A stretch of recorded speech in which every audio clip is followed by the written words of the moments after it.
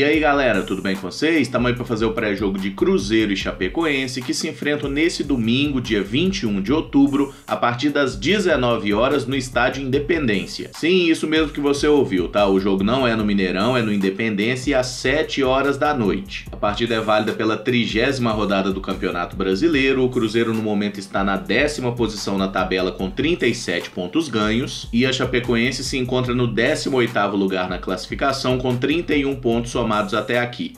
Falando das prováveis escalações, começando com o Cruzeiro dono da casa, devemos ir a campo com o goleiro Fábio, a zaga com Dedé e Léo, lateral direito Edilson, lateral esquerdo Egídio. No meio campo, volantes Henrique e Lucas Silva, a linha de meias com Robinho, Thiago Neves e Rafinha, e no comando de ataque, Hernan Barcos. A grande questão é que essa escalação toda aqui é uma grande incógnita. O treinador Mano Menezes falou que vai mandar o time com força máxima, vai mandar todo mundo a campo, mas a gente sabe que o Cruzeiro ainda tá no ritmo de comemoração comemoração, tem vários jogadores que certamente estão meio mamados na cachaça ainda, e o aproveitamento deles não é uma certeza. E aí a gente já sabe quais os nomes que a gente tem mais a se preocupar, né? Caso de Edilson, caso de Robinho, caso do próprio Thiago Neves. Então é possível que a gente tenha algumas mudanças nessa escalação, mas o time base, né, o mais provável é que seja esse mesmo.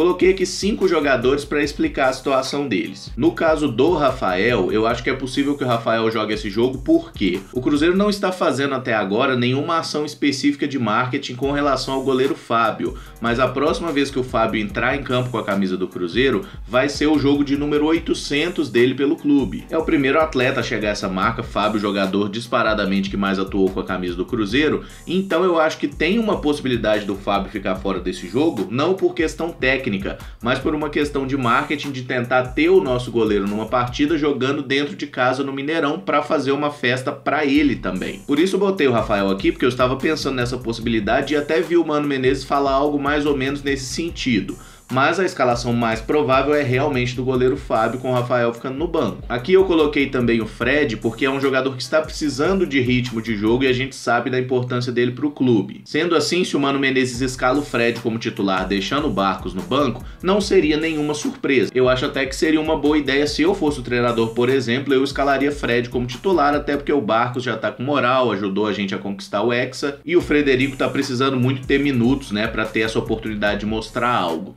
O Arrascaeta eu acho que vai ficar no banco por todo o esforço que ele fez, né, para chegar em Belo Horizonte, o voo e tudo mais que a gente sabe. É um jogador que certamente ainda tá meio cansado até hoje, mas todos sabemos que o Arrascaeta é o titular aqui nessa vaga que eu botei o Rafinha. Então se o Arrascaeta for titular também não vai ser surpresa nenhuma. O Ariel Cabral segue disputando posição com o Lucas Silva. Eu acho que o Lucas Silva tem que voltar a ser titular, mas o Ariel Cabral jogar junto com o Henrique aqui não vai ser nenhuma novidade, até porque foi a dupla que garantiu o hexacampeonato foram titulares Ariel e Henrique nos dois jogos da final.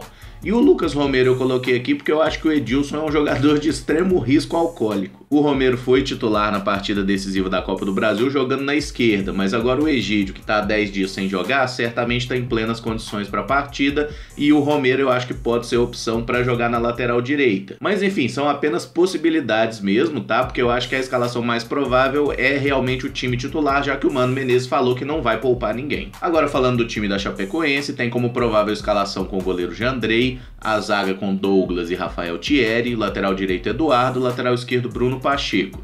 No meio-campo são aí três volantes, o Amaral e o Barreto que ficam um pouco mais, o Canteiro, que é um terceiro homem de meio-campo ajudando na armação. São dois meio-atacantes, o Diego Torres e o Dolfo, que devem inverter de lado bastante, inclusive, e na frente o centroavante, o Leandro Pereira, né, o popular Leandro Banana. A Chapecoense vive uma situação complicada tentando fugir do rebaixamento, mas a gente tem que entender que o Cruzeiro também não está livre, né? Eu até falei disso no vídeo que publiquei nessa sexta-feira. A diferença de pontos hoje entre Cruzeiro e Chapecoense é de apenas seis pontos. Então o Cruzeiro precisa demais conquistar essa vitória para bater nos 40, ter mais tranquilidade nessa reta final e conseguir logo superar aí 45, 46 pontos, que é aquela pontuação de risco. Acho que o Cruzeiro precisa levar essa reta final de temporada muito a sério, porque esses riscos de rebaixamento, por mais que a gente saiba que o nosso time é bom, são coisas que a gente nunca deve brincar. Então quem puder que dá uma colada lá no Independência, apoie o time, até porque os caras fizeram por merecer, conquistaram mais uma vez a Copa do Brasil, e a diretoria também está prometendo algumas ações especiais em comemoração ao título e tudo mais. Acho que vão entregar faixa para os jogadores.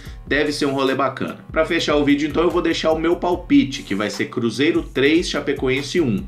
O Cruzeiro vai marcar os seus gols através de Léo, Thiago Neves e Fred, e a Chapecoense vai marcar com Leandro Pereira, beleza? Bom, galera, se gostou do vídeo, deixa o like, se inscreve no canal caso não seja inscrito, usa os comentários para deixar as suas opiniões sobre o jogo e também o seu palpite. E claro, né, após a partida ali por volta das 9 da noite, entramos ao vivo aí para fazer aquela live após a partida, comentando o jogo e isso que vocês já estão acostumados, beleza?